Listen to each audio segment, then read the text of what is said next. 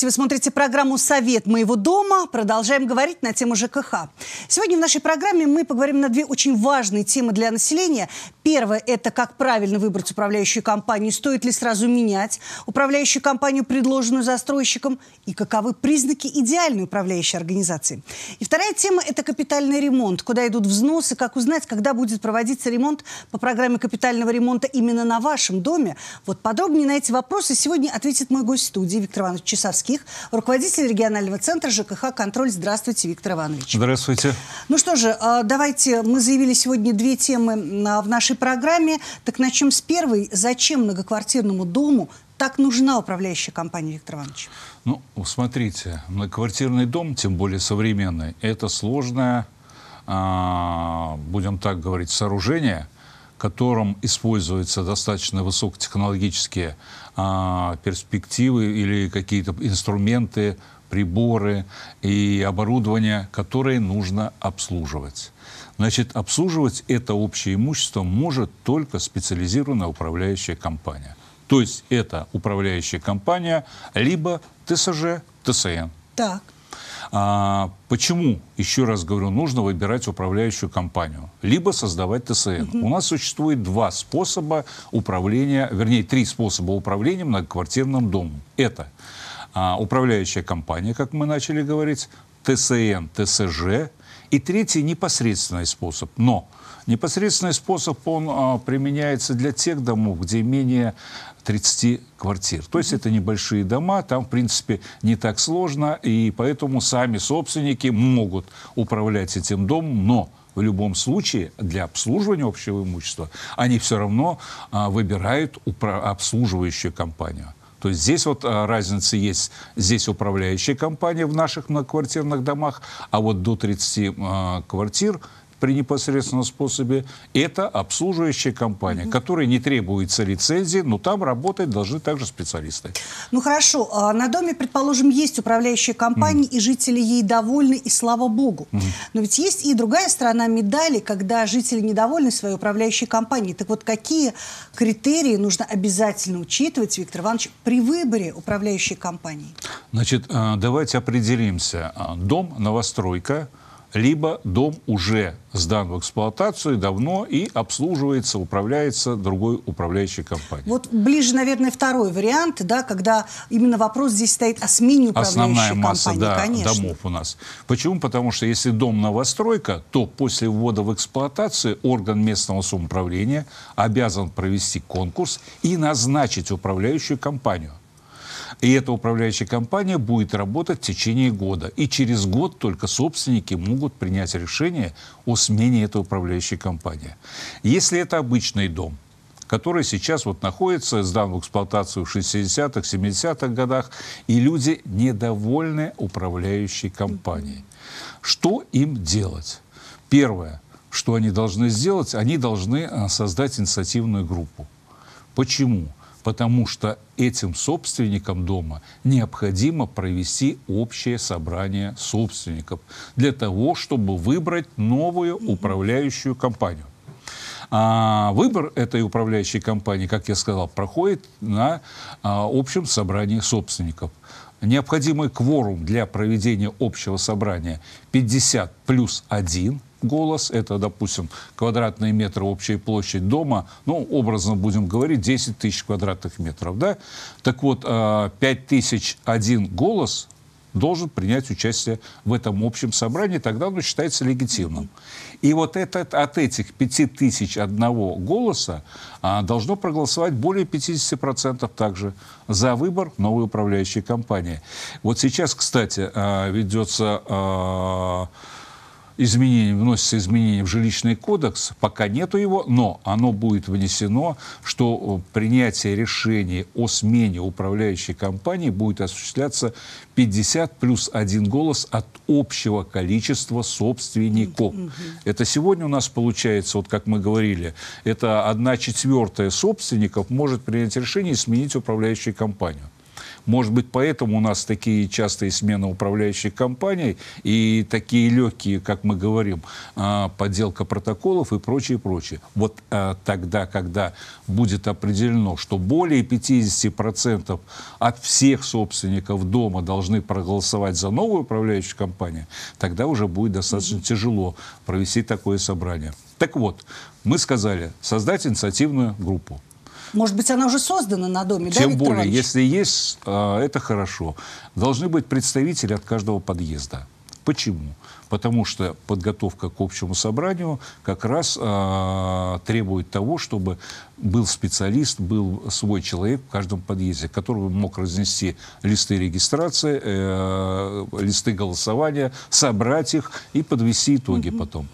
Это вот первое, с чего надо начинать. Без этого э, никакой смены управляющей компании, конечно, вы не решите. Виктор Иванович, но ведь еще и понять, что компания управляющая работает недобросовестно, тоже надо суметь. Ну, да. к примеру, жители живут и живут э, вовремя, платят коммунальные услуги и не вникают в настоящие проблемы дома. Но есть инициативные жители, которые об этом знают. Я к тому, mm. что эта работа очень кропотливая, и провести ее необходимо. Так вот, важность смены управляющей компании для самих жителей и работа добросовестной компании – это вот, наверное, два термина, которые неразрывно связаны Совершенно друг с другом. верно, да, совершенно верно. А смена управляющей компании – это крайняя мера.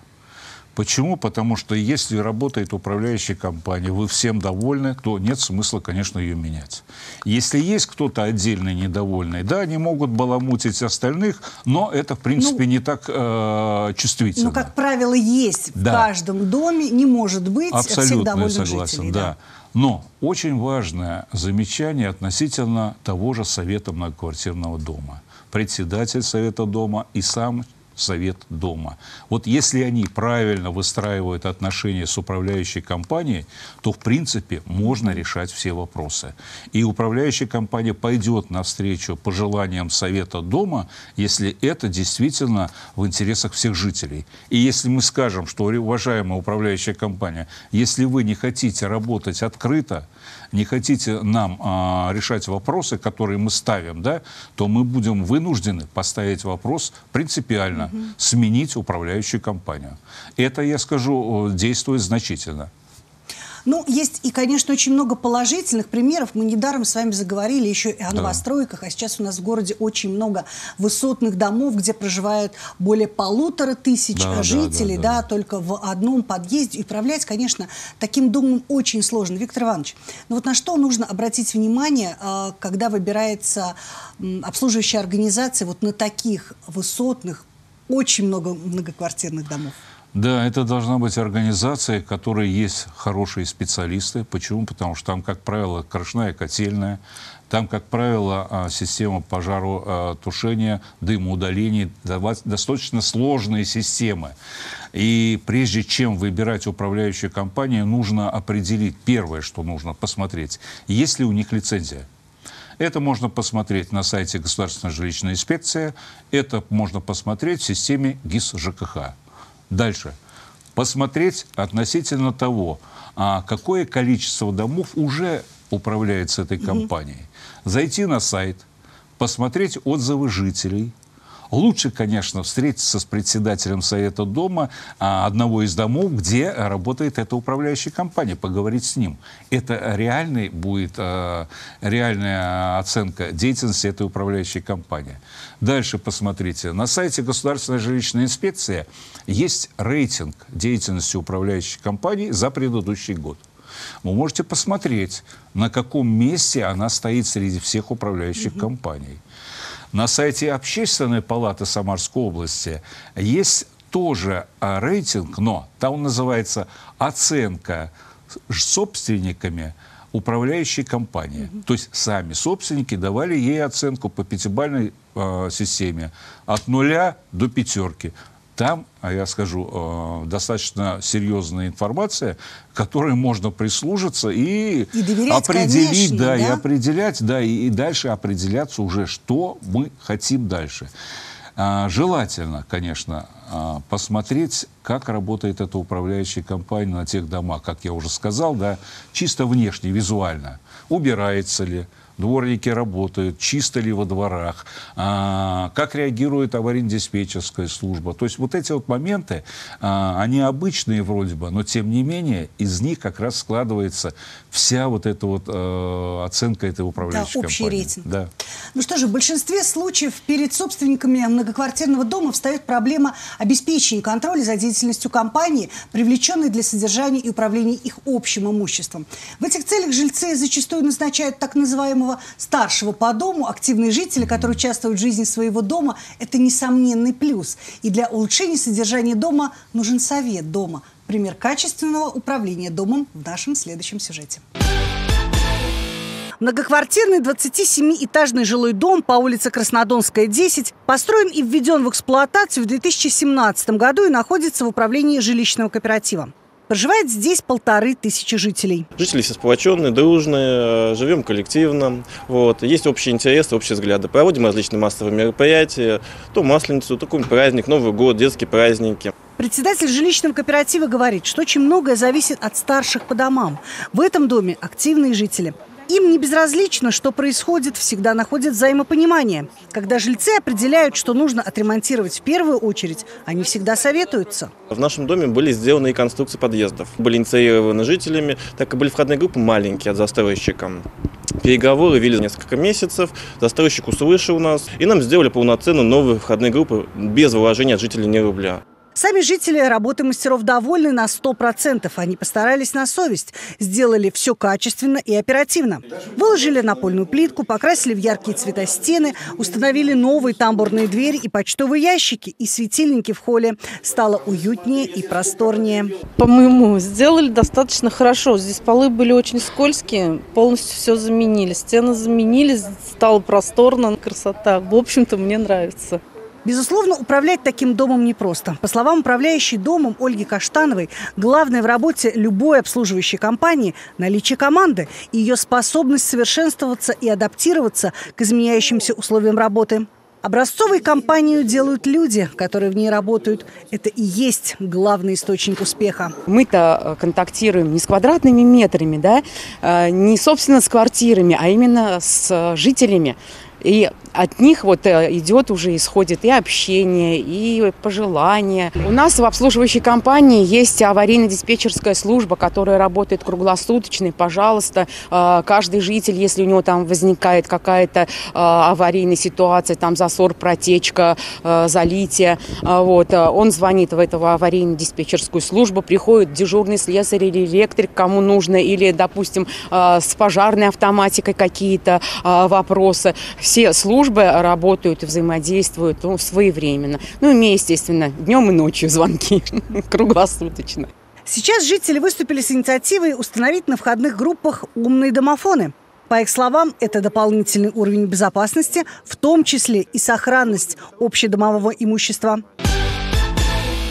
Виктор Иванович, еще один вопрос а, к нашей заявленной первой теме. Скажите, как правильно, грамотно составить договор с управляющей компанией и, конечно, на что нужно обратить внимание?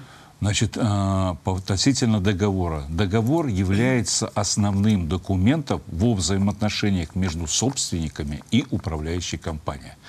Значит, мы подготовили модельный договор. На сайте Государственной жилищной инспекции а в разделе «Документы» можно найти модельный договор. Мы его готовили с депутатами Губернской думы, а, с Государственной жилищной инспекцией, Общественная палата и ЖКХ «Контроль». Мы готовили этот а, договор, и на сегодня, я скажу, он действующий. А, он полностью отражает все чаяния собственников, все требования к управляющей компании. Почему? Потому что там надо прописать все. Достаточно того, что я скажу, что в этом договоре есть раздел. Я сам лично его готовил. Взаимоотношения совета дома с управляющей компанией. То есть вот у нас есть собственники все, а вот есть структура, которую выбрали собственники, чтобы представлять их интересы. Совет дома – вот этот совет дома должен взаимодействовать с этой управляющей компанией. И там четко прописаны пункты, по каким пунктам а, совет дома взаимодействует с управляющей компанией. Что должна делать и представлять управляющая компания, что должен требовать совет дома. И я скажу, если взять за основу вот этот модельный договор, этого будет уже достаточно. Но, можно сказать, что он универсальный и применим к разным он, формам управления. Он применим, да, абсолютно ко всем способам управления, но, я скажу, каждый дом индивидуален, можно, конечно, в этот договор что-то добавлять, что-то убирать с него. На то он и называется модельный договор. Он основа. Там все есть. Туда можно добавлять, можно отнимать. Спасибо, Виктор Иванович. Капремонт многоквартирного дома – мероприятие хлопотное. Многие моменты вызывают у собственников и нанимателей жилья вопросы и опасения. В продолжении нашей программы я попрошу эксперта разъяснить самые наболевшие из них. Виктор Иванович, переходим mm-hmm. ко второй теме. Скажите, пожалуйста, как узнать, а, когда на именно вашем доме будет капремонт? Значит, а, есть сайт фонда капитального ремонта Самарской области. То есть у нас в области создана некоммерческая организация Фонд капитального ремонта. Угу. А, чтобы было представление у всех, это государственная организация. Она называется некоммерческая, но она государственная. Учредителем Фонда капитального ремонта является Самарская область. И Самарская область своим бюджетом отвечает по долгам этого фонда. Поэтому вот на сайте Фонда капитального ремонта представлена региональная программа. А, раздел есть для собственников, можно найти это все и посмотреть региональная программа. Там прописаны все 11 с лишним тысяч домов Самарской области, которые включены вот в эту региональную программу. А, там определено вид работ, ну, адрес дома, вид работ и периоды выполнения этих работ. Это капитальный ремонт инженерных стру, э, систем, да, капитальный ремонт кровли, фундамента, э, фасада, а, что там еще у нас? Да, вот все, в принципе, да. Вот эти виды работ фонд капитального ремонта выполняет на основании вот этой программы. А, на каждый год составляется краткосрочный план – то есть берется выжимка из этого документа, какие дома попадают под этот период, и э, уже э, формируется краткосрочный план работ по капитальному ремонту. То есть там То есть, же можно узнать и сроки проведения капремонта, По каждому дому работы. написано адрес, капитальный ремонт крыши, допустим, 23 25 капитальный ремонт фундамент, 32 33 угу. и так далее, и так далее. То есть по каждому дому каждый вид работ и сроки, период выполнения этих работ. Значит, чтобы было понятно, кроме вот этой программы, а, есть способы формирования фонда капитального ремонта. Я не могу не сказать да, об этом. Да. Мы можем платить взносы вот в этот общий котел фонда капитального ремонта, а мы можем открыть специальный счет. То есть а, программе мы будем наши дома, но деньги будут храниться у нас на специальном счете. Если это интересно, я могу более подробно рассказать, но суть в чем? Чем отличается вот общий котел от спецсчета? В общем котле мы платим деньги и ждем, когда придет срок, и нам будут делать работы мы никак не можем повлиять на эту работу, на этот цикл не можем повлиять. Потому что фонд капитального ремонта а, проводит торги, определяет подрядную организацию, заключает с ней договор, и эта подрядная организация приходит на дом и начинает ремонтировать. Мы, как собственники, можем только принимать участие в принятии этих э, работ. Этих работ да а уполномоченное лицо от собственников, он обязательно входит в состав вот этой комиссии. Если мы э, формируем деньги на специальном счете, то мы в соответствии с этой программой можем сами определять подрядную организацию. И смотреть, если у нас, допустим, срок выполнения работ, ну, кровля, тоже, та же кровля, да, 32-33 а, год, да, Значит, мы до 1933 года должны отремонтировать кровлю. Но кто нам мешает начать это делать да, сегодня? К примеру, раньше. Да. И мы сегодня можем начать это делать работы. А если фонд капитального ремонта связан с тем, что при выборе подрядной организации он пользуется а, предельными стоимостями, сколько можно сколько он может выделить денег на выполнение работ, допустим, по капитальному ремонту кровли на один квадратный метр, то при спецсчете мы этим не ограничены. Ну хорошо, Виктор Иванович, но если вот э, у собственников эти средства собираются на спецсчет, как вы сказали, mm. а кто э, тогда должен отчитываться э, перед собственниками за эти средства, за выполненные работы? Значит, э, когда принимается решение об открытии спецсчета, выбирается уполномоченное лицо от собственников. Счет открывает либо управляющая компания, либо ТСЖ, либо фонд капитального ремонта. То есть они, как юридические лица, открывают счет и отдают нам его. Но а все работы по этому счету мы должны сами организовывать. Вот это уполномоченное лицо, это может быть председатель совета дома, это может быть любой из собственников, это может быть любой, э, допустим, представитель той же управляющей компании. Почему нет? Не определено этот статус. Поэтому вот это уполномоченное лицо как раз и должно отчитываться о том, какова собираемость взносов. И по спецсчету есть еще одно требование. Да. Если собираемость взносов менее 50%, а смотрит за этим государственная жилищная инспекция, государственная жилищная инспекция выписывает предписание, что, уважаемые, у вас собираемость низкая, менее 50%. Просим вас привести это в порядок. Даем три месяца. Если через три месяца мы этого не сделали, а, вот наш спецсчет закрывается и нас возвращает в общий котел. То есть нужно понимать, если открывается спецсчет, то нужно им грамотно пользоваться да, и вовремя это, его пополнять. Это, это серьезная ответственность, да, да? да. Ну что же, спасибо, продолжаем программу. Вот что относится к капитальному ремонту инженерных сетей многоквартирного дома, а что к текущему? Замена стояков ХВС и ГВС капитальный это или текущий ремонт? Mm. И какие вообще работы относятся к этой категории? Будем выяснять на примере конкретного адреса, проспект Металлургов, 84. Многоквартирный дом номер 84 по проспекту Металлургов построен в 1953 году, является объектом культурного наследия. До 2018 года на доме проводились работы только в рамках текущего ремонта. Жилой дом, что называется, в годах почти 70 лет без капитального ремонта. Старшая по дому Ольга Александровна говорит, что жители здесь с активной жизненной позицией проводят общедомовые собрания и сами решают, какие работы нужно проводить в первую очередь, а с какими можно подождать. Так вышло и с планами работ по капитальному ремонту. Фасадные работы по дому заменили на ремонт инженерных коммуникаций. Нашли подрядную организацию, и процесс пошел. Сегодня старшие по дому сотрудники администрации Кировского района встретились с представителем подрядной организации, чтобы оценить промежуточный этап выполненных работ. Результатом остались довольны. Все говорят, что хорошие слова о том, что как проделаны работы. А, ни у кого практически нареканий нет. Ну, есть даже есть мелкие какие-то нарекания, они автоматически подрядной организации выполняются. Пока запланированные работы в рамках капитального ремонта, а именно ремонт инженерных коммуникаций, замена сетей холодного водоснабжения водоотведения выполнены. Как только завершится отопительный сезон, подрядчик фонда капитального ремонта приступит и к работам по ремонту сетей теплоснабжения. К лету, может быть, к началу осени уже полностью работы по инженерным сетям будут завершены. И поскольку от сталинской застройки здесь большие толстые кирпичные стены, здесь хорошее качество самой постройки, и при должном уходе этот дом прослужит еще много-много лет.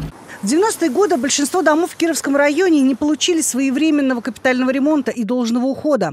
И поэтому жители осознают важность проведения капитального ремонта. Да и финансовые затраты крайне серьезные. Напомним, что жители оплачивают статью капитального ремонта с 2015 года. Другой вопрос, если на доме низкая собираемость платежей по этой статье, тогда... Безусловно, жители должны понимать, что только своевременная и полная оплата всех и коммунальных услуг и оплата за капитальный ремонт может привести к качественному и своевременному выполнению работ. По-другому в нашем мире не получится. Виктор Иванович, вот такой вот может быть частный вопрос. Ага. Если при капремонте дома требуется доступ в квартире, ну вот частичная порча ремонта, скажем, начали долбить угу. стены при замене труб, то скажите, пожалуйста, кто это должен компенсировать и должен ли, угу. и э, как быть вот в такой ситуации, когда ремонт поврежден, а восстановить его необходимо? Ну, давайте я сначала скажу, вот чем отличается текущий ремонт от капитального. Да, конечно. Вот э, те работы, которые выполняет любая организация, управляющая компания, либо подрядная, если это менее 30% от всего объема, допустим, замена инженерных систем. Вот менее 30% это текущий ремонт. Угу. Более 30% это уже капитальный ремонт. Но То текущий капитальный... выполняет управляющая компания, да, да, текущий управляющая, а капитальная угу. специализированная организация. Что касается насчет порчи, да, вот э, имущества собственника при выполнении работ по капитальному ремонту. Здесь тоже надо иметь в виду один момент. А, собственники, наниматели не имеют права а, заграждать общее имущество для того, чтобы управляющая организация, подрядная организация не имела к нему доступа. Как правило, а, стейки в квартире, да, их заделывают, а, ну, различными материалами, угу. да, напрашивается вопрос. Пришли э, представители подрядной организации менять стояки. Что делать? Вот здесь собственник должен сам это все разбирать. Или отдает он подрядной организации, но те не гарантируют ему качество вот этой разборки. Почему? Потому что этого ограждения не должно быть. Другое дело, если когда меняют стояки, допустим, э, ну, между покрытиями, э, межпокрытие, вот э, пропускают эти стояки э, по, через панели, где-то, да, вот там они разбили что-то, вот здесь они должны заделывать все. Они должны работать аккуратно и все это заделывать. Но если мы закрыли доступ к общему имуществу дома, то тогда отвечаем мы сами. И еще, а, пожалуй, последний вопрос в нашей программе я успею задать, но он очень, очень тоже важный. Виктор Иванович, выбор подрядчика. Ведь то, от чего зависит качество выполненных угу. работ, зависит и дальнейшая комфортная жизнь жителей да, да. в том или ином доме. При спецсчете подрядчика можно выбрать самостоятельно. Да. Если нет, то тогда подрядчика определяет фонд капитального фонд ремонта. Фонд капитального ремонта, да. Как вот найти здесь вот эту тонкую грань, Виктор Иванович, и правильно Но, к сожалению, собственники здесь бессильны. Почему? Потому что фонд капитального ремонта проводит торги. И та организация, которая выигрывает, с ней заключается договор. Но я скажу так, сейчас вот фонд капитального ремонта все-таки э, принимает решения относительно недобросовестных подрядных организаций. А раньше их запрещали, но не давали возможность внести их в черный реестр. То есть недобросовестная подрядная организация. Сейчас этот процесс пошел. То есть недобросовестная подрядная организация, если она где-то показала себя нехорошо, ее вносят э, в черный реестр, так называемый, да, э, там, где недобросовестная организация, и она больше на этот рынок не войдет. Будем надеяться только на фонд капитального ремонта, как они контролируют, но Здесь, Но потом я же думаю, приемку работ никто да, не отменял, естественно, верно? естественно. Почему? Потому что здесь вот самое важное будет приемка, а как принимают и кто принимает. А принимают эти работы должны представители фонда капитального ремонта, орган местного самоуправления принимает решение, э, участие в этом. А дальше собственники, сама подрядная организация и представители общественных советов вот, которые есть на территории ТОС или управляющим микрорайоном, mm-hmm. их тоже включают вот в эту о, комиссию. И я скажу так, вот у нас есть брошюра даже, мы подготовили брошюру, как правильно при, осуществлять приемку работ по капитальному mm-hmm. ремонту, где написали, ну, на что обратить внимание, допустим, при приемке кровли при инженерии. То есть подробные инструкции есть? Совершенно верно. Поэтому, если что-то, мы готовы это все предоставить. А у нас много таких материалов. А, заходите на сайт квалификационного центра ЖКХ и энергетики Самарской области. Там есть эти брошюры, буклеты, там есть видеосеминары обучающие, в том числе и по капитальному ремонту. Ну и наша программа «Совет моего дома» также в помощь конечно же, нашим уважаемым Я телезрителям. думаю, да. Ну что же, спасибо вам большое, Виктор Иванович. Это была программа «Совет моего дома». У нас в студии был Виктор Иванович Часовских, руководитель регионального центра ЖКХ «Контроль». Надеемся, что ответы, которые озвучил эксперт, были для вас исчерпывающими. Подписывайтесь на нашу группу ВКонтакте «Совет моего дома» и направляйте туда свои вопросы. Отвечать мы будем на них в эфире программы. На этом все. Всего самого доброго. До новых встреч.